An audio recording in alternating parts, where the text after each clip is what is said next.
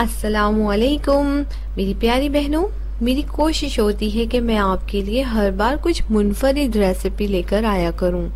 अपनी इसी कोशिश को जारी रखते हुए आज मैं आपके लिए सऊदी मसाला की रेसिपी लेकर आई हूँ। एक बार आप इस मसाले को बनाकर एयर टाइट जार में प्रिजर्व कर लें और महीनों इससे तरह तरह की सऊदी डिशेस, जैसे कि कब्सा, मंदी मकलूबा शरबा बुखारी राइस स्टफिंग समोसे वेट सूप और भी बहुत सारी मज़ेदार डिशेस इससे बनाए जा सकते हैं। सऊदी डिशेस वैसे भी आजकल ट्रेंड में हैं। ईद हो बकर ईद हो फेस्टिवल हो कोई स्पेशल ओकेजन हो या फिर शादी की तकरीब। खिलाएँ अपने घर वालों को और मेहमानों को सऊदी खाने और समेटे खूब सारी तारीफ़।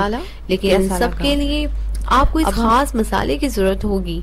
इस वीडियो को गौर से सुने एक एक स्टेप को देखें और फिर ये शानदार और लाजवाब मसाला तैयार करके रख लें ताकि जिस वक्त इन खानों को बनाना हो मसाला पहले से ही मौजूद हो।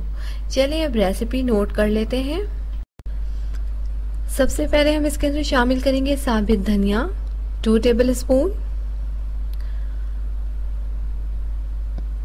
इसके अलावा हम इसके अंदर शामिल करेंगे दो दालचीनी के स्टिक्स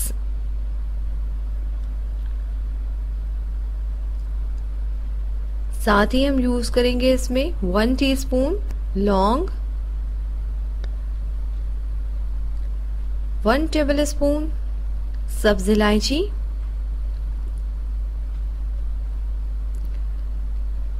सफ़ेद जीरा यूज़ करेंगे हम टू टेबल स्पून इसके अलावा हम इसके अंदर शामिल करेंगे एक सूखा हुआ लेमन, जो कि आपको बासानी किसी भी पंसार शॉप पे मिल जाएगी।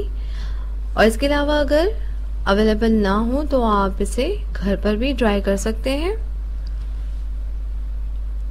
इन तमाम चीज़ों को अच्छी तरह से देख लें और नोट कर लें कि इसके अंदर कौन कौन से मसाले हम यूज़ करेंगे। सबसे पहले एक पैन लें। और इन तमाम मसालों को उसके अंदर शिफ्ट कर दें। लेमन के छोटे छोटे से पीसेस कर लें और इसकी सीड्स निकाल लें।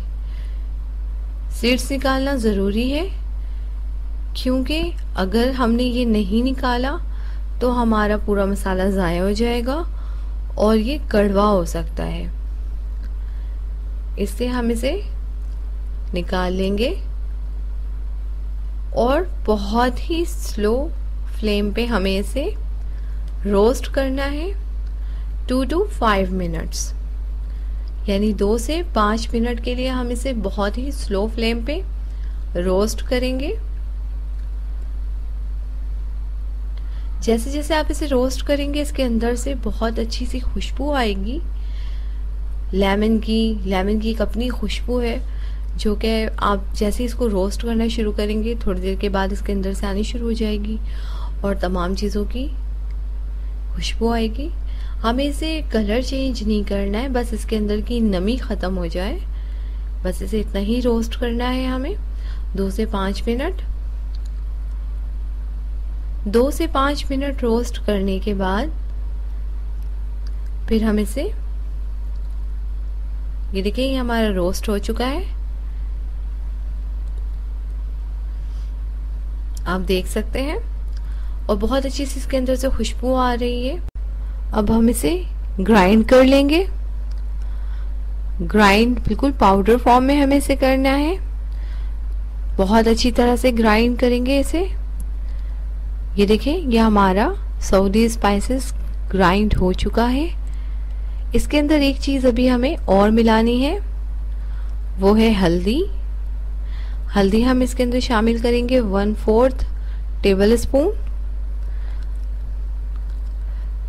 सऊदी खाने में स्पाइसेस यानी कि लाल मिर्च वगैरह बहुत कम यूज़ होता है लेकिन इसका एक अपना अलग टेस्ट होता है। सो so, प्लीज़ आप इसे ज़रूर बनाएँ और इससे अपनी सऊदी डिशेस तैयार करें और फिर हमें फीडबैक भेजें ताकि मुझे पता लगे कि आपको ये मसाला कैसा लगा। अब हम इसे ट्रांसफ़र कर लेंगे एक बॉल में। हमारा सऊदी स्पाइसेस बनकर तैयार है। आप इसे एयरटाइट जार में प्रिजर्व कर सकते हैं। अगर आपको मेरी वीडियो पसंद आई हो तो प्लीज़ इसे लाइक करें शेयर करें कमेंट से अपना बहुत ख्याल रखिएगा, दुआओं में याद रखिएगा। अल्लाह हाफिज़।